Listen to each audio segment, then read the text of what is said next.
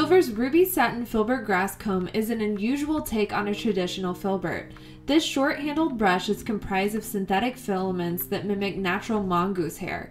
It feels slightly stiff yet springy, but what's notable is the varied length of the individual filaments that give us a very natural painting experience.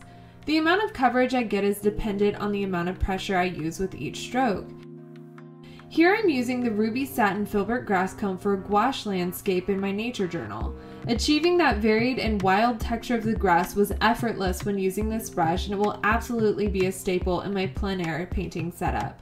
For the most natural look, think about making strokes at an angle or horizontally, and don't forget to try dabbing at your surface for a speckled texture.